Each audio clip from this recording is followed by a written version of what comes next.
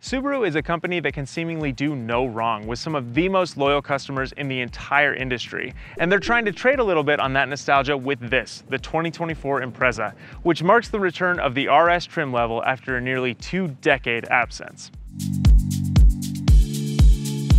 But before we go down that particular rabbit hole, I am once again asking you to subscribe to the Motor1 YouTube channel and find us on all of your favorite social media with the handle at Motor1.com. Now, as a rule, Subaru doesn't tend to make huge, large-scale changes to its vehicles in between generations, at least as far as styling is concerned, and the 24 Impreza is no exception. It kind of carries the same general basic shape and the same personality as the vehicle it's replacing, but I can point out a few changes. As you can see, these headlights up front are sharper and narrower than they were before, and the hexagonal grille has been slightly reshaped to incorporate these funny little body color notches just underneath the grille bar. And then the front bumper is also more aggressive and pointier than before, which gives the Impreza just a little bit more visual aggression. As you can see, the silhouette of this Impreza is largely similar to the generation that came before it, but that doesn't mean Subaru hasn't tweaked it just a little bit. My favorite feature are these slightly bulging fenders front and rear with a very subtle crease that kind of generates from the top. It reminds me just a little bit of the original 1998 2.5 RS, and although this vehicle isn't as exaggerated as that one, I still like that they've given it just a little bit of extra flash. Also, since we're looking at an RS model, you're going to see a badge on the door, black mirror caps, black rocker panels, and a dark gray finish for these 18-inch wheels. Around back is where the Impreza's resemblance to the likewise new 2024 Crosstrek is most obvious. As you can see, it has these massive C-shaped taillights that are bigger than before and definitely dominate the rear end. But the Impreza has a lot less body cladding to give it a more sophisticated and upmarket appearance than the rough and tumble Crosstrek. The inside also continues the trend of sharing the same basic design with the old Impreza, but there are a couple of additions to this new model. For starters, this 11.6 inch vertically oriented touchscreen is standard on both the Sport and the RS models, which means you get wireless Apple CarPlay and Android Auto and Subaru's excellent, very easy to use infotainment system. Furthermore, this particular vehicle, the RS, gets cool red accented seats with a really cool mesh seat center design. It just looks great and it feels sporty, and the seats themselves have been redesigned for more comfort and support. And if you want to get really nerdy, I can tell you about a couple of neat little Easter eggs that Subaru designers included on the new Impreza.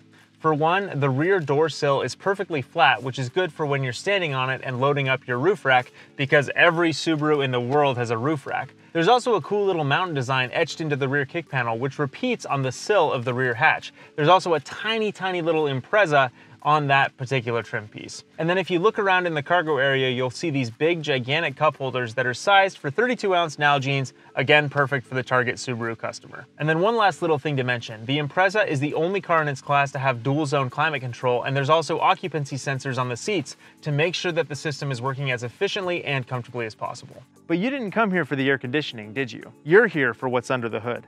And the Impreza doesn't really disappoint, generally speaking. The base and sport models get a ho-hum 2-liter Boxer 4 that makes an economy car adequate 152 horsepower and 145 pound-feet. Think frugality and you'll definitely be on the right track. More warm-blooded types will probably find the RS more interesting. With a naturally aspirated 2.5-liter Boxer under the hood, the flagship trim makes a healthy 182 horsepower and 178 pound-feet, the most of any non-turbo Impreza in history. Unfortunately, the only way to get the 24 Impreza is with Subaru's Lineartronic CVT. Admittedly, the automaker does CVTs very well, with more refinement and better driving manners than just about any other gear-free gearbox. But still, my inner 8-year-old wishes you could get an RS-branded ROO with a stick shift. But if the transmission doesn't inspire much enthusiasm, the revised platform probably will. Still riding on Subaru's modular global architecture, the 24 Impreza is lighter and stiffer than before thanks to vastly increased use of structural adhesives. That gives the compact 10% more torsional rigidity, yielding better handling and a quieter, smoother ride. And when it's time to introduce the RS to a corner, the standard all-wheel drive system now features torque vectoring, which improves handling while also providing better stability and control. That should help prevent crashes caused by bad driving, but what about the Impreza's dedicated safety systems? Automatic emergency braking, lane keep assistance, and adaptive cruise control are now standard on even the cheapest trim level. And if you order your Impreza with a blind spot monitor, you also get automatic emergency steering, which helps prevent side crashes at speeds of less than 50 miles an hour. don't be surprised if the new Impreza takes top marks in government and IIHS crash testing. So does that make the 24 Impreza a good fit for your own nostalgia-fueled purchase? Well, that depends on what your real-world priorities actually are. If you were raised on Gran Turismo and WRC, then you might be a little bit disappointed that this car only comes with a CVT. But if you just want a fun and capable daily driver, this might be a great fit. The RS's more powerful engine makes it a great foil for the likes of the Mazda 3 and the turbocharged Honda Civic, and the standard all-wheel drive with torque vectoring is also a really great plus up on those competitors. Furthermore, all the standard active safety kit that comes on the new 2024 Impreza should appeal to most buyers much more than a stick shift transmission would. If you want to find out if the 24 Impreza matches your own automotive sentiments, then you'll have to wait until at least spring of 2023, which is when this vehicle arrives at dealers.